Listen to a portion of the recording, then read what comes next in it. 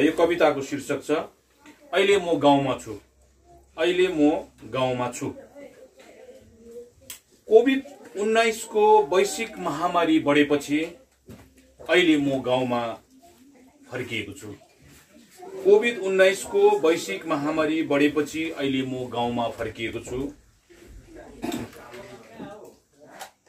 झन्डासँग सिद्धान्त बेच्न नसकेपछि झन्डासँग सिद्धान्त बेच्न नसकेपछि जीव हजुरीसँग स्वाभिमान बन्दकी राखिन।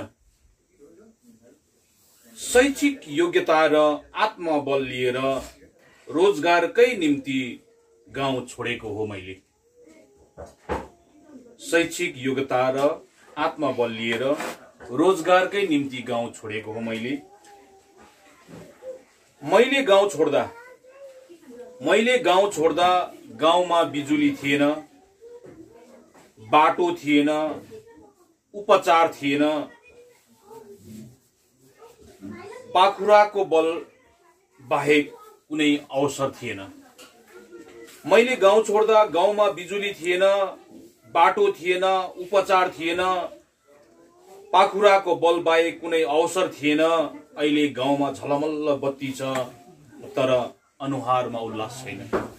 अहिले गाउँमा झलमल्ल बत्ती छ तर अनुहारमा उल्लास छैन। कालो चिल्लो बाटो छ अनि त्यही बाटो भएर पोलियो लागेका युवा पाइलाहरू झुलिरहन्छन् झुलिरहन्छन् तर अफसोस कुनै सुन्दर गन्तव्य छैन। तर अफसोस कुनै सुन्दर गन्तव्य छैन। अहिले गाउँमा ठुला ठुला सार्वजनिक भवनहरू बनिएका छन् तर मनहरू भने निजीकरण भएछन्। अहिले गाउँमा ठुला ठुला सार्वजनिक भवनहरू बनिएछन् तर मनहरू भने निजीकरण भएछन्। समाज घर बनिएछ तर सामाजिक छैनन् विचारहरू। तर सामाजिक छैनन् विचारहरू। अचेल गाउँमा युवाहरू घरमै बस्दा रहेछन्। अहिले गाउँमा युवाहरू घरमै बस्दा रहेछन्।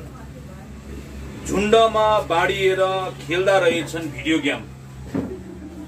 झुन्डमा बाडिएर खेल्दा रहेछन् भिडियो गेम। झुल्दा रहेछन् पढ्दा रहेछन्। देश विदेश घुम्दै रङ्गीन दुनियाँमा रम्दा रहेछन्। पहिले गाउँमा।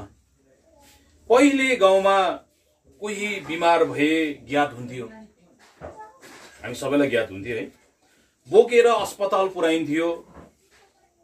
विवाह मरौ जुटिन्थ्यो परमा तिरिन्थ्यो। इमान इज्जत र परिश्रमको होड चल्थ्यो। दया धर्म र मानवताको नमुना थियो गाउँ। तर गाउँ अचेल झन्डा झन्डामा बाडिएछ। तर गाउँ अचेल झन्डा झन्डामा बाडिएछ। आठ भरोसा सहित एकता पनि तोडिएछ। दुर्बल भएछ रमितीय भएछ गाउँ। दुर्बल भएछ रमितीय भएछ गाउँ। अरूलाई सपना देखाएर आफू मात्र विपना कुम्लाउने सत्ता भोगी नेतृत्वको पछि लागेपछि अहिले गाउँ अल्छे भएछ आशे भएछ। अस्थायीको विकल्प अन्तमा नभेटेपछि अस्थायीको विकल्प अन्तमा नभेटेपछि गाँस जुटाउनु नै पर्ने स्थितिमा दुई छक्कै निम्ति गाउँै पलायन भएछ।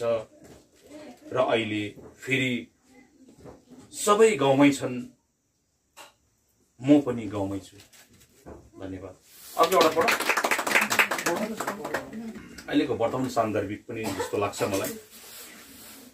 तपाईँलाई अन्यथा नसम्झिकनै पढ्नु पर्यो है बुझ्नु पनि पर्यो अँ, यो कविताको शीर्षक छ दार्जिलिङमा मेला लागेको छ।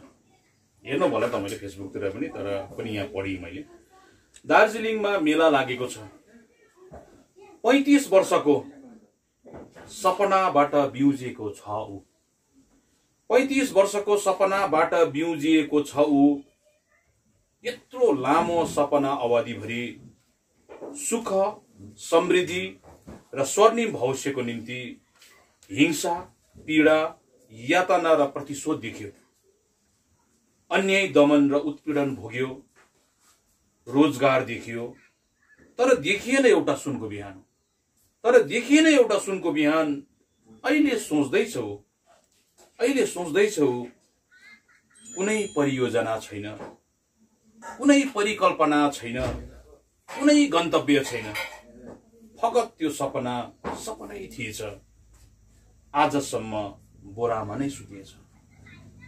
फकत त्यो सपना सपनै थिएछ आजसम्म बोरामै सुतिएछ।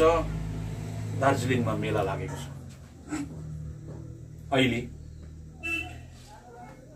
किनार उभिएर हेरिरहन्छौ अहिले किनार उभिएर हेरिरहन्छौ भिडहरू जुलुसहरू मान्छेको ओहोर दोहोर झोला बोकेर हिँडेका छन्। झोला बोकेर हिँडेका छन् माग्नलाई। कोही आफ्नै निम्ति कोही आफ्नैकै निम्ति झोलामा ल्याउँछन् र बोरामा भर्छन्। बोरा भरिएपछि झोला फर्काउन जान्छन्। गाउँ गाउँै सहर सहरै गाउँ गाउँै सहर सहरै विस्थापित छन् जिउनैकै निम्ति। विस्थापित छन् जिउनैकै निम्ति यी विस्थापितहरू कहिले घर फर्किने हुन्? यी विस्थापितहरू कहिले घर फर्किने हुन्? एक छाकै टार्न नसक एक छाकै नटर्ने चियाबारीको वेतनमा दस दिने काम गरेर के खाँदैछन् सिन्कुनाकाहरू एक छाकै नटर्ने चियाबारीको वेतनमा दस दिने काम गरेर के खाँदैछन् सिन्कोनाकाहरू? काका कुलीको तिर्ख तिर्खा यथावत छ। काका कुलीको तिर्खा यथावत छ। भत्किरहने बाटो र झोडा जस्तै विकासले सकेन सेक्न बाउको ढाड सकेन मेट्न आमाको नाम्लोको डाम। बरु आउन सत्तासीन मनहरू गाउँमै मेला गरौँ।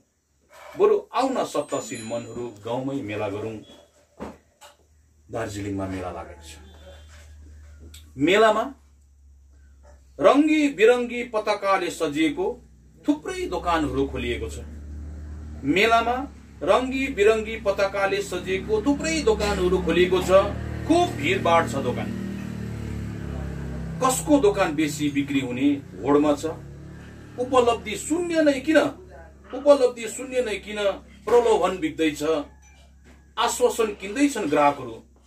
हुरुरु जान्छन् ग्राहकहरू एकदेखि अर्को दोकान। हुरुरु जान्छन् ग्राहकहरू एकदेखि अर्को दोकान। उत्साहित छ विक्रेता ग्राहक देखेर। पिरमा छ विक्रेता ग्राहक गएको देखेर। अहिले ग्राहकको परिवार पनि बाँडिएर किनमेल गर्छन्। अहिले ग्राहकको परिवार पनि बाँडिएर किनमेल गर्छन्। भिन्न भिन्न दोकानबाट सामान किन्छन्। घरमा परख्छन्। चर्चा गर्छन् भरोसा गर्छन् भरोसा राख्छन् र निर्णय लिन्छन्। दार्जिलिङमा मेला लागेको छ। अब दार्जिलिङमा प्रदर्शनी मात्र हुनुपर्छ लाग्नुपर्छ। अब दार्जिलिङमा प्रदर्शनी मात्र लाग्नुपर्छ। ग्राहकहरूले हेर्नेछन्। त्यसको इमान्दारिता प्रतिबद्धता र सार्वभौमिकता। ग्राहकहरूले हेर्नेछन् त्यसको इमान्दारित्व इमान्दारिता प्रतिबद्धता र सार्वभौमिकता र सोध्नेछन् उपलब्धिहरू दीर्घकालीन खपत र फाइदाहरू। अनि सोध्नेछन् उपलब्धिहरू दीर्घकालीन खपत र फाइदाहरू।